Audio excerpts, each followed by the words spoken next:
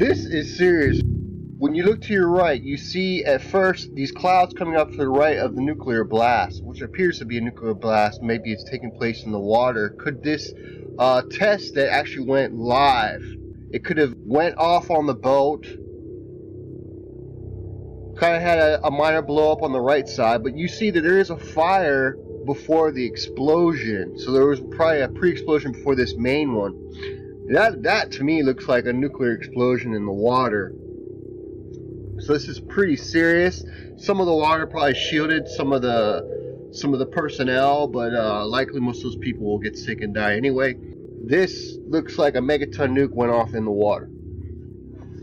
And this is what happens when countries get into a nuclear arms race that we have with the US and Russia. And we're pretty much provoking each other to build crazier and crazier weapons. Uh, the Russians think they're doing self defense, the Americans think they're doing self defense. It's a perpetual. Six people have been affected by severe radiation exposure as a result of a blast. They have been delivered by Moscow by air, are en route to the Federal Medical Biophysical Center of Federal Medical Biological Agency, majoring in radiation and nuclear medicine.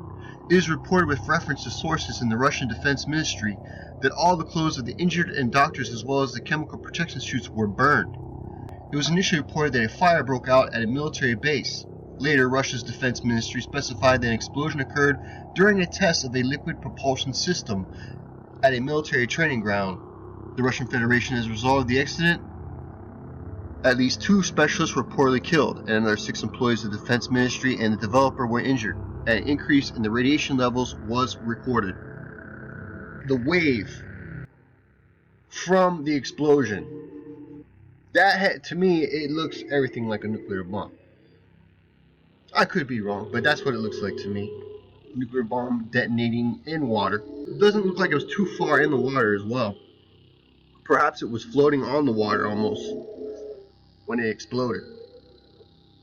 This drone, I was reading up on it. The Poseidon is a 70 foot underwater drone powered by a nuclear reactor. It's a drone that can cross an entire ocean at depths down to a thousand meters, making it nearly impossible to intercept.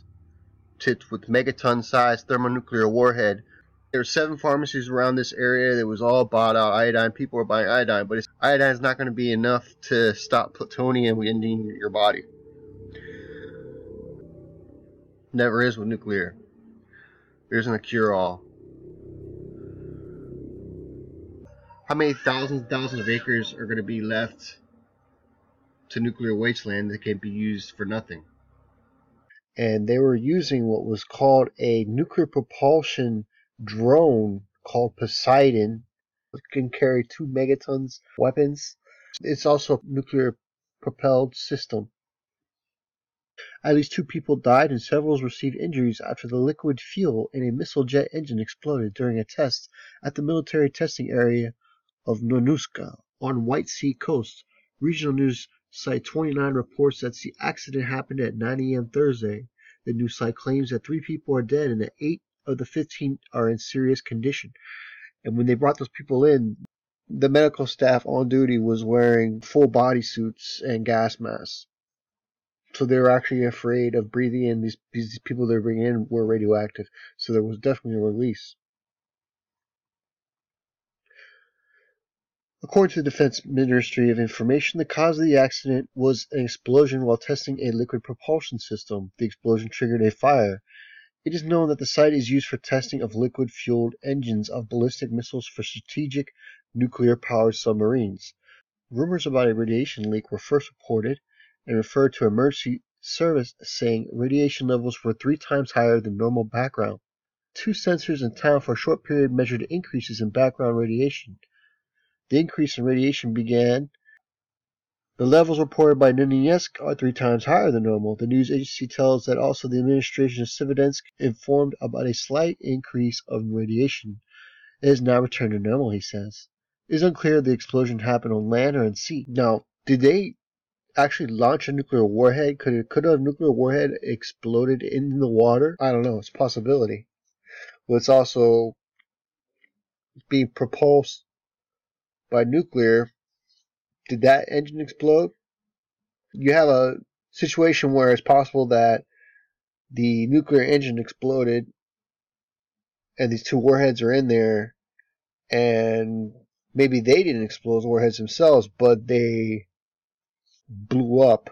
But they didn't explode like a nuclear bomb, but they was like a dirty bomb because there's weapons grade plutonium in those missiles. The only known weapon system with nuclear propulsion under development and testing are the Poseidon underwater drone and the Burevestnik cruise missile. The weapons testing facility on the White Sea, some 25 kilometers west of the Severodvinsk. Casualties after a missile engine explosion. At least two people died. Jumped radiation background. Nothing is known about the explosion. Information was received on increasing background radiation. Was it or not? They should check at several points. The governor of the Arkhangelsk region confirmed that an emergency occurred in Nanuks. Nanuks! So Nanuks got nuked. Explosion or a fire is now being revealed. So there was probably explosion and then a fire, or a fire that led to an explosion. This incident occurred in a military unit Information agency TASS citing emergency services reported that the source of the fire was on the ship. As a result of the emergency, one person had died. The incident began with the ship that is now on fire. An air ambulance was sent out to the place. There was a fire on one of the ships of the Navy, the Baza Telegram channel writes. According to preliminary information, at least two people were killed and 15 injured. All information from the Ministry of Defense is being specified that this is a military facility belonging to the Ministry of Defense. For our part, we are also specifying information. Hospitals and sanitation are mobilized. According to the internet publication Life, after an unidentified emergency, radiation emissions sensors worked. After a short jump, everything returned to normal. So there was a state where things were not normal, and then the wind changed. Launches were to take place in the next four days at the ballistic missile range for submarines, and today they were preparing for them, and something went wrong. Probably hurried. Pressed the wrong button. I know that explosions occurred on a barge near a military unit, and according to rumors, the background radiation is increased. It's scary. An emergency meeting of departments is currently taking place in the Arkhangelsk region. The Ministry of Defense of the Russian Federation stated that an explosion occurred during a test of liquid propulsion systems at a military training ground, and the product caught fire. As a result of the incident, two specialists were killed. Six more people, employees of the military defense and a developer company, were injured. It became known of two large emergency situations at the facility a fire in a deep sea vehicle in the Barents Sea. Calls from journalists from Moscow began in 1248. Obviously, the situation is serious,